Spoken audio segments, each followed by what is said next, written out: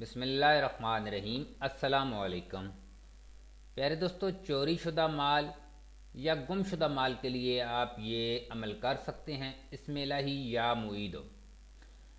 सबसे पहले इसमें लाही या मुईदो के अदाद निकाल लें।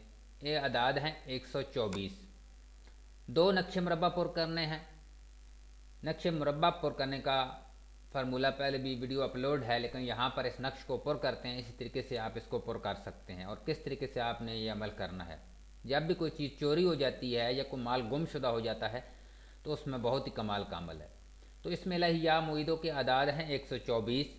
तो इससे नफ़ी करना है तीस, क्योंकि नक्श मुरबा पुर करने के लिए तीस नफ़ी करना ये कानून है, ठीक है? तीस नफ़ी किए तो हमारे पास बाकी बच गए चौरानवे। चौरानवे को चार पर तकसीम किया। चार पर तकसीम किया।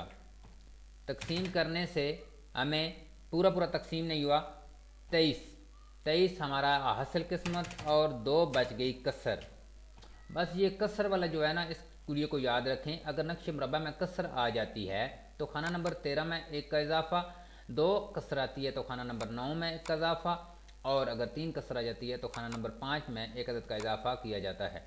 अब हमारा हासिल किस्म था तेईस, यानी तेईस को चार से ज़रब दी तो बानवे आ गए। दो कसर बच गई। तेईस को यहाँ पर रखना है खाना अव्वल में, और दूसरे खाना में लिखेंगे चौबीस।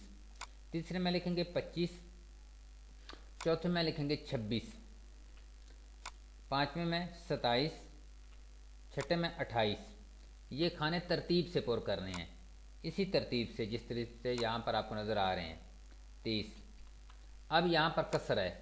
तो यहाँ पर इस खाने में एक इजाफा करेंगे तो बत्तीस लिखेंगे। यहाँ पर तैंतीस, चौंतीस, पैंतीस, छत्तीस, सैंतीस अठतीस और उनतालीस। नक्श हमारा हो गया पुर। नक्श अब सही पुर हुआ है, गलत हुआ है। उसकी तस्दीक ये है कि ये कोई से चार खाने आप यहाँ से यहाँ जमा करें तो ये अदद 124 आने चाहिए। यानी जो आपके कुल आदाद होंगे वो आने चाहिए। अगर आ जाते हैं तो नक्श दुरुस्त है। इस तरीके से यहाँ से यहाँ जमा करें चार खाने तो भी ये अदद आने चाहिए। यहाँ से यहाँ करें तो भी, यानी कोई से भी चार खानों के आदाद जमा करने से मौजूदा जो आपकी कुल मीज़ान होती है, वो आनी चाहिए।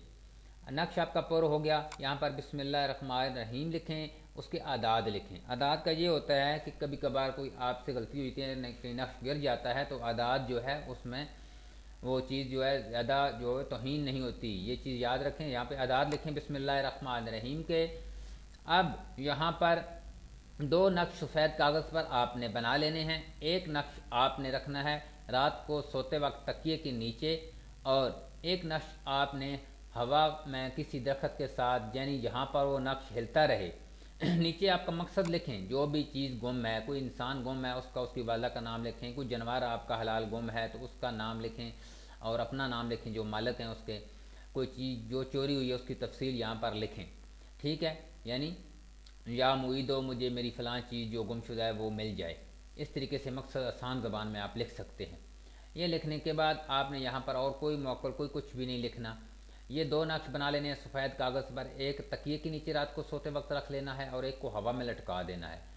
और दोनों नकूश पर 124 24 मरतबा या मुईदो या मुईदो का वर्द करना है।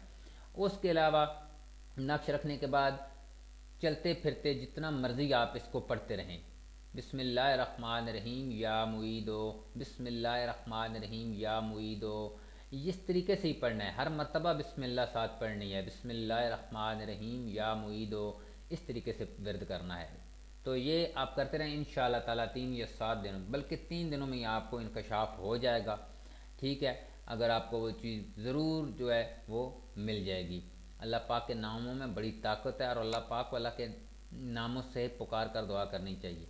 तो ये अमल है, किसी बात की समझ नहीं तो आप पूछ सकते हैं, मैं ज़्यादा इसको इस्तेमाल करता हूँ। इन मामला में के लिए ये खसूसी अमल है, चोरी शुदा या गमशुदा माल के लिए आप कर सकते हैं।